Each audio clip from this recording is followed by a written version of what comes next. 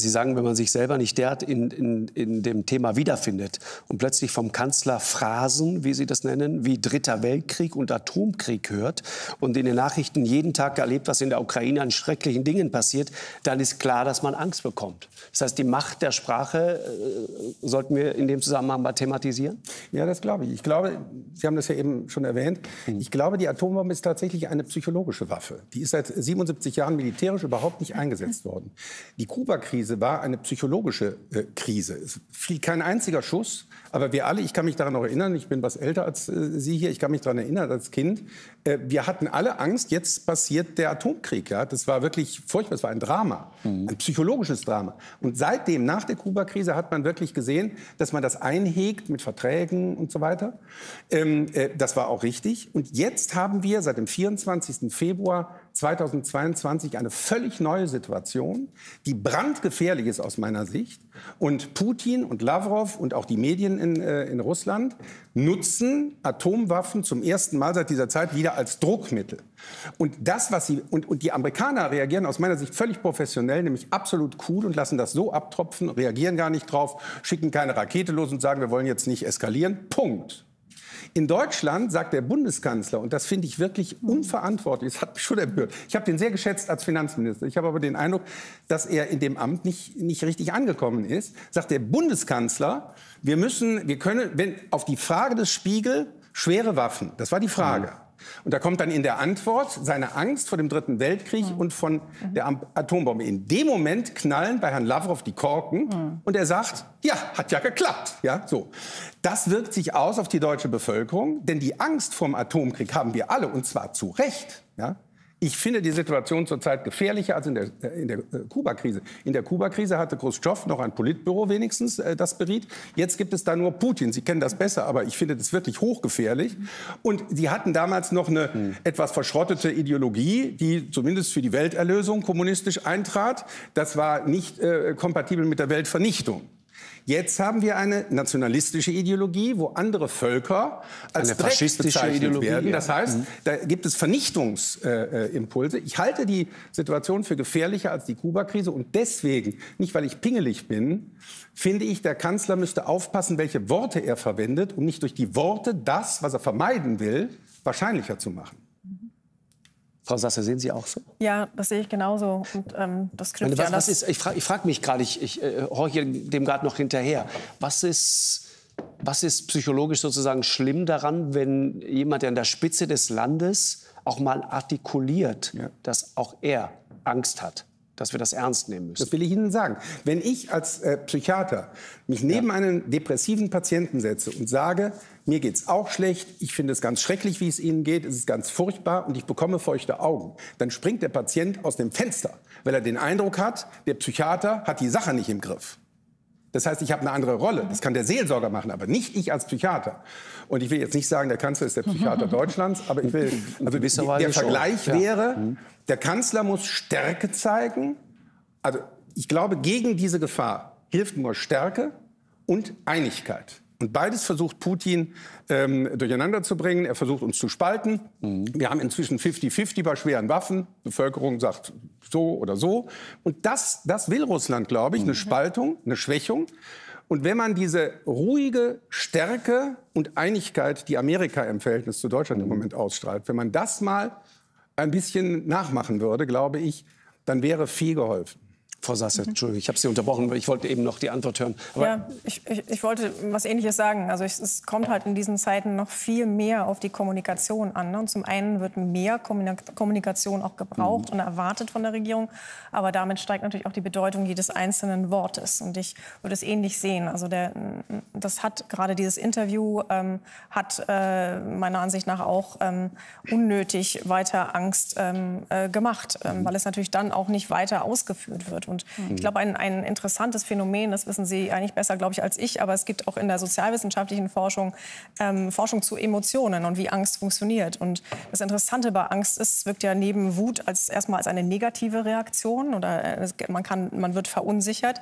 Aber es gibt ähm, äh, interessante Forschung dazu, dass Angst bei, bei Menschen äh, nicht nur hervorruft, dass man ähm, blind wird vor Angst, sondern dass man gezielt nach mehr Informationen als sonst sucht, dass man eigentlich auch offener wird für mhm. verschiedene Argumentationen, dass man aktiver danach sucht. Das finde ich sehr, sehr wichtig und sehr interessant. Das ist anders als ähm, bei, bei Wut, bei ähm, Ärger. Äh, der verengen sich Positionen mhm. und man kommt auch aus seiner eigenen Blase nicht mehr raus. Und ähm, ähm das haben wir auch während der Corona-Demonstrationen vielleicht gesehen, dieses Phänomen. Aber mhm. das heißt dann ja ganz genau, dass, dass jeder, der in den öffentlichen Raum, also insbesondere auch aus der Regierung, ähm, Informationen eigentlich bereitstellen soll mhm. und ähm, Entscheidungsprozesse nachvollziehbar macht, damit eine noch viel größere Verantwortung in dem Moment hat. Mhm. Und ich finde es problematisch, wenn, also ich, jetzt sind wir ja bei einer klaren Entscheidung angekommen ähm, äh, in der Regierung, aber ähm, wie wir eben schon bei Frau Lambrecht auch sagten, es klingt halt für die Bevölkerung so, an einem Tag wird das gesagt, ein paar Tage später was anderes. Das, das, das kann eben Man hat die nicht Sorge das Gefühl, dass es eine konsistente Strategie gibt. Ne? Nein, und ähm, natürlich ähm, sind das große Themen, bei denen sich gerade auch die Regierung mhm. natürlich auch neu, ganz neu finden, aufstellen muss. Und das sind auch viele neue Positionen, auch für Deutschland mhm. insgesamt. Aber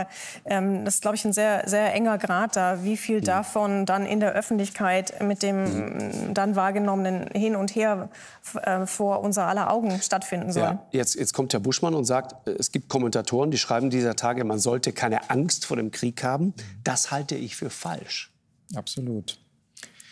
Ich glaube, dass wir gar nicht so weit auseinander sind, ja. weil Herr Lütz ja nicht sagt, dass man keine Angst haben Nein, darf. Sie sagen, man soll nicht so ja. viel in bestimmten Funktionen darüber reden. sagt, man, man, man kann sie. Man, ich, finde, ich finde, die Angst haben wir alle. Ja, Genau, also und es ist eine, eine, eine Banalität das, sozusagen. Ja, Man muss ja, nicht eine, eine gesunde Angst. Also ich glaube, ja. dass jeder Deutsche im Moment weiß, dass das brandgefährlich okay. ist. Und es geht mir nur darum, wie man darüber redet. Und in einer solchen mhm. brandgefährlichen Situation mhm. muss man seine Worte als verantwortlicher Mensch sehr genau wägen, weil es gefährlich jetzt, ist. Wenn ich nur die Frage kurz beantworten darf, genau. was ich sozusagen damit meine, ist, wenn man sich ein bisschen mit der Geschichte beschäftigt, stellen wir fest, dass wir immer gewisse Phasen der Stabilität und des Friedens haben. Und man mhm. denkt, das ginge immer so weiter.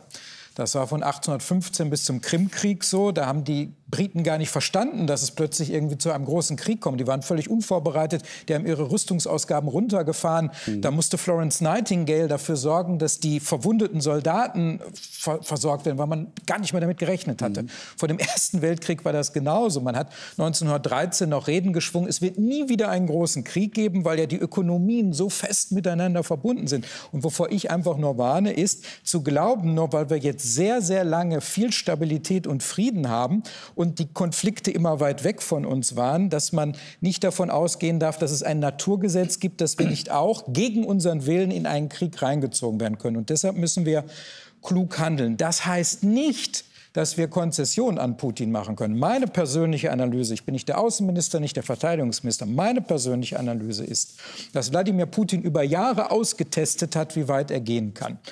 Nicht nur in der Ukraine, aber auch in der Ukraine 2014 mhm. mit äh, der Krim und sich dann sehr genau angeschaut hat, wie reagiert die Welt.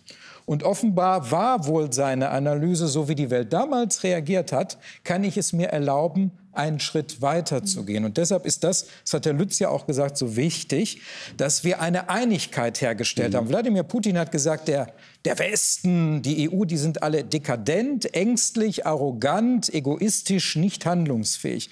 Wir haben in relativ kurzer Zeit mit Wirtschaftssanktionen, mit der Versorgung der Ukraine mit zivilen und militärischen Mitteln gezeigt, dass wir uns einigen können, dass wir dazu stehen, sie zu unterstützen. Mhm. Und auch wir als Bundesregierung haben klar gesagt, die Ukraine darf den Krieg nicht verlieren. Warum? Weil nämlich sonst Wladimir Putin auf die Idee kommt, wenn jetzt auch dieser Schritt gelungen ist, was ist dann der nächste? Und wenn wir mit unseren Verbündeten äh, äh, in den baltischen Staaten sprechen, die ja EU-Staaten sind, die NATO-Staaten sind, ich habe mit meinen Justizministerkolleginnen sind alles gesprochen, die sagen, wir haben die Angst, dass das, was wir in der Ukraine heute sehen, unsere Zukunft ist. Und deshalb muss eine entschlossene Reaktion stattfinden und die stellen wir her. Und die haben wir auch hergestellt. Und man kann an Kommunikation viel kritisieren, aber wir haben jetzt auch mit dem Bundestagsbeschluss, auch mit der Linie, auch in der Abstimmung mhm. mit anderen Staaten, glaube ich, schon eine sehr klare mhm. Linie. Wir wollen die NATO-Linie halten, wir wollen die Ukraine unterstützen, damit Wladimir Putin sieht, mhm. er kann nicht so agieren, wie er das 2014 offenbar konnte. Und das ist unsere äh, gemeinsame Haltung. Also, äh, ich muss sagen, äh, jetzt ist vielleicht eine klare Linie da, aber äh, als Bürger finde ich es tragisch, dass, diese, äh, dass es zwei Monate gedauert hat, mhm. bis die klare Linie da ist. Ich finde, ähm, äh, in der Situation, zum Beispiel diese ganzen Debatten kommen davon, dass der Kanzler so zögerlich ist. Ich, ich stelle mir mal vor, Helmut Schmidt, auch SPD, ja, wäre Kanzler gewesen. Wir hätten nicht nach zwei Monaten erst eine Entscheidung des Kanzlers gehabt zu wesentlichen Fragen. Das heißt, Besonnenheit, was in diesem ersten Brief steht, da bin ich sehr für. Also natürlich muss man besonnen reagieren. Aber es gibt einen Unterschied zwischen Besonnenheit und Zögerlichkeit. Und ich finde, dass, äh, dass äh, Olaf Scholz vor allem zögerlich ist. Die, ähm, dieser erste Brief, der hat ja seine Zögerlichkeit als Besonnenheit interpretiert. Zwei Tage später oder am selben Tag hat er dann doch schwere Waffen äh, schweren Waffen zugestimmt aus Japan irgendwie. Ähm, äh, das heißt, es war deutlich, er war, äh, es war Zögern. Es war einfach eine verzögerte äh, Entscheidung. Und ich glaube, dass die SPD diese, äh, diese, dieses Zögern bezahlt. In, äh, in Schleswig-Holstein zum Beispiel hat man das gesehen. Ich glaube, dass das damit wesentlich zu tun hat. Die Leute sind im Moment auch an dieser Frage interessiert. Und, äh, und wenn der Kanzler okay. nicht führt in dieser Situation, schadet das natürlich auch der SPD. Frau äh, Strack-Zimmermann hat das gesagt. Es ist alles viel ja, zu spät. So, der FDP kann man einen Mangel an Klarheit in der Frage, glaube ich, nicht vorwerfen, weil ja nicht nur Frau Strack-Zimmermann, sondern auch unser Bundesparteitag da eine sehr klare Linie herbeigeführt hat und dazu sicherlich auch mit beigetragen haben, dass wir im Parlament diese Klarheit haben.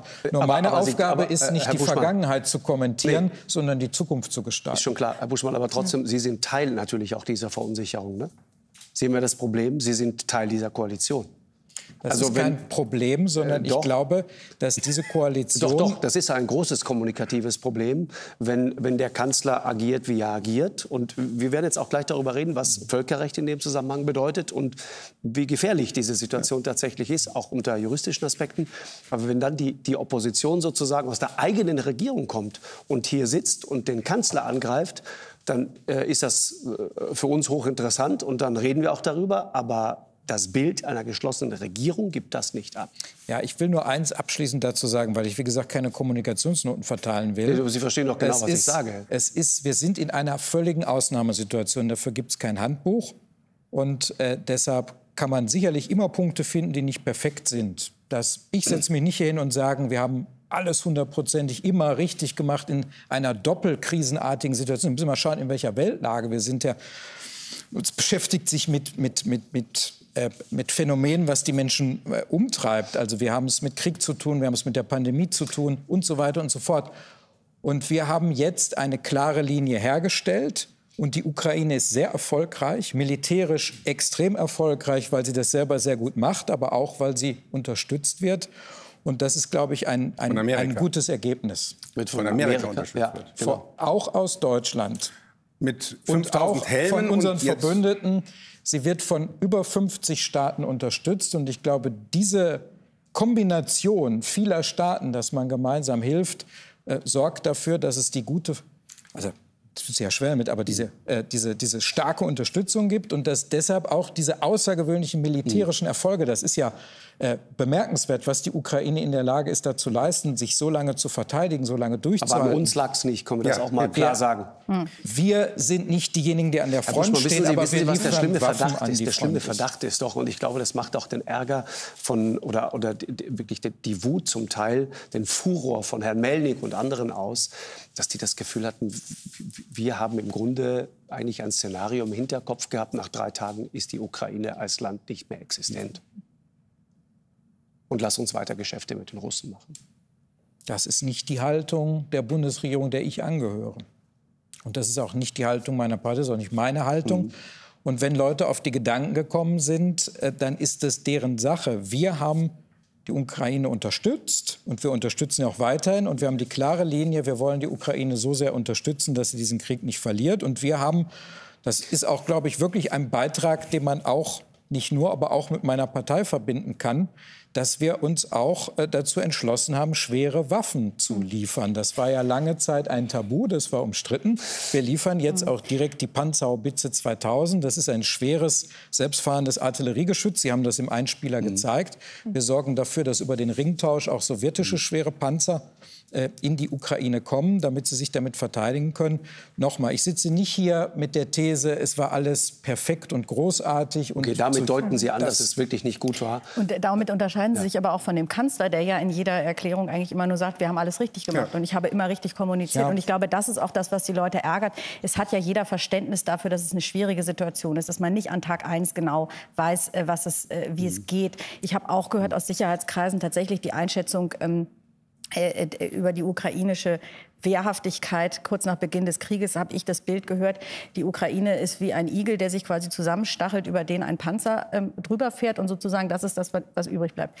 Wenn man natürlich wenn, wenn das so heißt, wenn, wenn man sowas hört, mhm. dann ist es vielleicht auch nicht verwunderlich, dass Christian Lindner, so wurde es ja berichtet, wohl mal zu Herrn Melnick gesagt hat, naja, also sozusagen finden Sie sich ab, sinngemäß, ja, das wird wohl nichts werden mit einem Sieg. Jetzt sind ja viele erstaunt, also auch übrigens, da nehme ich die Medien gar nicht aus, mhm. wie tapfer die Ukraine da kämpft ähm, und auch letztlich wie strategisch ähm, und militärisch schwach äh, äh, die Russen sind. Also die ich erinnere mich auch, Dörfer, auch Städte so, zurück. Ich erinnere mich auch an Sendungen hier, wo wir dachten, es ist nur noch eine Frage von wenigen Tagen, bis mhm. die Ukraine fällt. Und jetzt, man kann ja auch, das ist ja auch total legitim, mhm. wenn die Öffentlichkeit und die Medien überrascht sind, als auch die Bundesregierung. Mhm. Die Frage ist nur tatsächlich, ähm, die, da ist Kommunikation, wir haben es jetzt gesagt, sehr wichtig. Und das ist ja nicht nur, wir haben jetzt über, über die innenpolitische Dimension, die Angst gesprochen. Was mich eigentlich mindestens so ärgert, ist die außenpolitische Dimension, nämlich dass man immer klar an Russland signalisiert, was man alles nicht macht, ja, oder wovor man Angst hat. Also ich erinnere mich an die Zeit der Sanktionen, da war es genau im Gegenteil, da hat man gesagt, wir wollen nicht so viel darüber reden, was für Sanktionen ähm, wir verhängen, um sozusagen Russland in dieser Unsicherheit zu lassen, ähm, diese Ambiguität wer weiß, was da passiert. Jetzt sagen wir, also um eins musst du dir schon mal keine Sorgen machen, Wladimir Putin. Wir werden auf gar keinen Fall eine Flugverbotszone errichten. Wir werden das, das, das und das alles nicht machen. Wir haben nämlich die Hose voll, um es mal so salopp zu sagen. Kriegspartei zu werden, das wollen wir auf gar keinen Fall. Dann fällt ja, was übrigens falsch ist, darüber reden wir vielleicht gleich noch, quasi die Atombombe in Berlin. Also, dass man diese Szenarien öffentlich den Menschen sagt und ans Ausland signalisiert, ich finde das wirklich äh, desaströse Kommunikation. Das war ja, ist ja auch interessant. Es gibt einen interessanten Satz. Wir kommen sofort zur Info von Herrn Lütz in dem Zusammenhang, weil es gerade passt. Äh, der sagt, wenn Olaf Scholz sein eigenes Interview glauben würde, dann müsste er sagen, dass er den Dritten Weltkrieg wahrscheinlicher gemacht hat.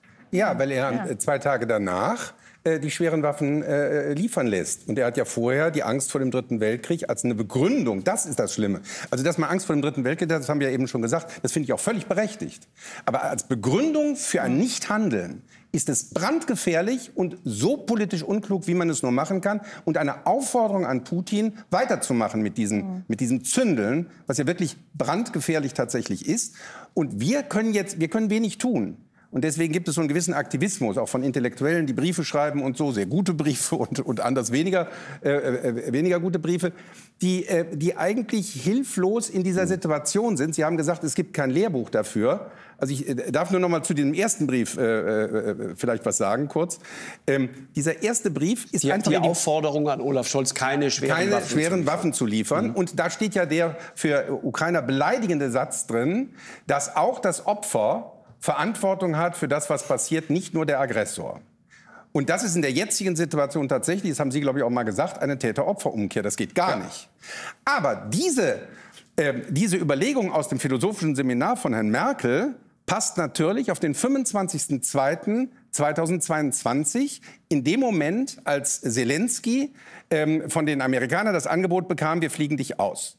In dem Moment musste er sich die Frage stellen, äh, haben wir eine Chance zu widerstehen. Mhm. Wenn er zum Ergebnis gekommen wäre, wir haben keine Chance zu widerstehen, hätte er ausfliegen müssen moralisch, weil er sonst Tausende von Ukrainern geopfert hätte, obwohl er gewusst hätte, dass er hat keine Chance. Und zweitens muss er sich die Frage stellen, steht mein Volk dahinter? Mhm. Ist mein Volk bereit, sein Leben einzusetzen für die Freiheit? Wenn er zum Ergebnis gekommen wäre, dazu sind die nicht bereit, hätte er ausfliegen müssen.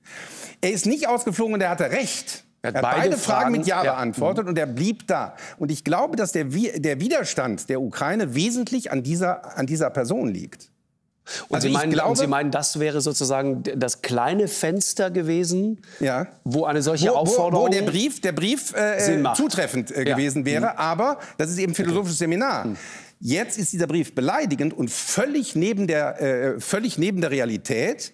Ähm, und das, also ich interpretiere das als Psychotherapeut so, dass ich den Eindruck habe, und das meine ich gar nicht irgendwie ironisch, dass viele Intellektuelle in Deutschland ihre geistige Heimat verloren haben. Die haben das, was sie jahrzehntelang gedacht haben über Frieden, über ich habe das gesehen gestern, dass, dass der Arzt äh, gegen den Atomkrieg, das hat mich tief gerührt, der, mhm. der ist in Tränen ausgebrochen, ja, mhm. weil, weil sein ganzes, was er immer gedacht hat, nicht mehr funktioniert. Er hat das gemerkt, dass es mhm. nicht mehr funktioniert. Ja. Und ähm, äh, Intellektuelle schreiben dann eben Briefe und Texte um ihre Hilflosigkeit auszudrücken. Jemand wie Alexander Kluge, den ich sehr schätze, Habermas, ein großer Philosoph, ja, vorbei an der Situation, weil diese Situation eigentlich seit 70 Jahren fast undenkbar war. Mhm. Aber, Frau Sasse, es geht natürlich bei alledem, und das ist dann schon ein entscheidender, wichtiger Punkt, um die Frage, wie groß ist die Gefahr, dass wir sozusagen in der Art von Schlafwandlern, ja, Christopher ja. Clark, das berühmte Buch, immer tiefer reingezogen werden, plötzlich in einer Situation uns wiederfinden, äh, die keiner jemals so gewollt hat, aber aus der wir dann natürlich auch nicht mehr rauskommen. Mhm. Äh, Stichwort an welchem Punkt bist du plötzlich selber Kriegspartei? Und wer definiert, ob du Kriegspartei bist? Mhm. Das heißt, wie, wie, wie, schauen Sie da drauf? Auf die Tatsache, dass zum Beispiel ja. jetzt auch ukrainische Soldaten mhm. in Deutschland ausgebildet werden. Und ich sehe das ein bisschen anders als Herr Lütz. Ich finde, als Demokratie müssen wir die Debatte ja. darüber führen, ob wir das alle zusammen wollen. Mhm. Das müssen ja, wir verhandeln. Ich, ich, finde auch, dass wir Debatten führen müssen. Würde allerdings auch zustimmen, dass ich glaube, viele, die sich zu Wort melden, beschäftigen sich eigentlich mehr mit sich selbst ähm, und ihren äh, vertrauten Argumentationsmustern als mit dem, was, was jetzt gerade vor Ort in der, in der Ukraine passiert. Äh, bevor ich auf Ihre Frage komme, würde ich kurz ansetzen mhm. bei dem Punkt des Widerstands der Ukraine, der, der ja auch so viele ähm, erstaunt hat. Und ich würde nicht sagen, ähm, äh, dass es in, mit dem Moment, dass Zelensky nicht ausgereist ist, hat dieser Widerstand äh, begonnen oder wurde mhm. ermöglicht. Ne? Das, ist, also ein, das ist ein wichtiger Moment gewesen. Ein wichtiger Moment, der kommen können. Sagen, äh, ein, ein Moment der Entscheidung. Ne? Darum genau, aber ja. ich, ich, ich würde äh, behaupten wollen, ähm, dass er gar nicht an das Verlassen des Landes gedacht hat. Und hinter ihm steht ein Land, ähm, eine Bevölkerung, eine Gesellschaft, die wir auch einfach lange, auch in der deutschen Öffentlichkeit, mhm. nicht wahrgenommen haben. Und äh, es gab ähm, auch vor dem Krieg viele Anzeichen dafür. Da kann man natürlich nicht genau wissen, was dann in der Kriegssituation genau passiert.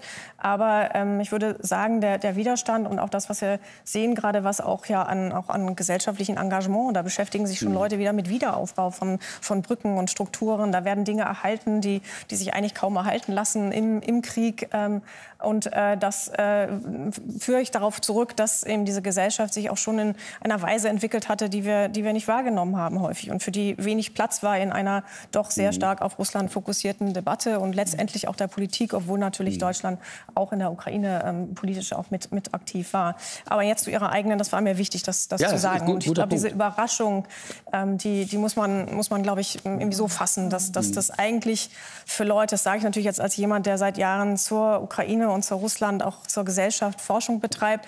Und da stelle ich mir natürlich auch, um das auch selbstkritisch einzuordnen, auch die Frage, wieso haben wir es denn nicht mehr geschafft, darüber mehr zu sprechen und auch in der Öffentlichkeit darüber mehr zu sprechen und es präsenter zu machen. Also ich ähm, urteile das jetzt nicht nur ab, sondern, sondern setze mir auch selber den, den Hut auf, denn das haben wir, ähm, diese, diese, diese Veränderungen, diesen Willen, Unabhängigkeit und einen Staat der Ukraine aufzubauen nach einem demokratischen Modell, das ist lange, lange klar und ist eben durch diese Massenmobilisierung 2004, 2013, 2014 immer wieder wieder äh, bestärkt worden. Und das ähm, ist aber, glaube ich, in unserem Bewusstsein hier zu wenig angekommen.